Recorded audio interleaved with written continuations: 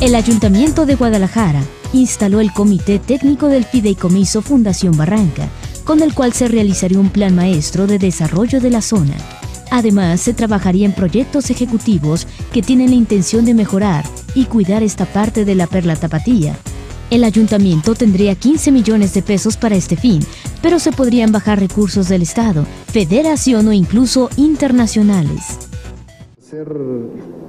Del conocimiento, los integrantes del, comité técnico eh,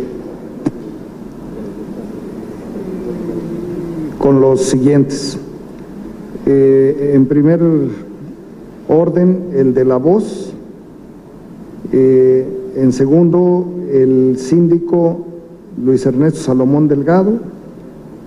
El secretario general Tomás Vázquez Vigil el tesorero Francisco Javier Padilla por parte del ayuntamiento, de la administración.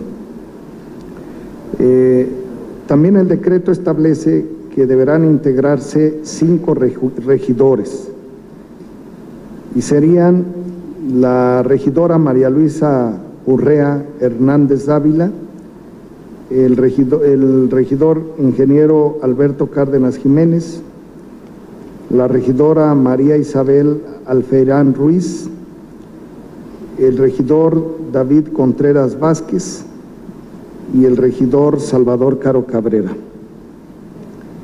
Y también se establece en el, en el decreto la integración de los siguientes ciudadanos propuestos por la presidencia.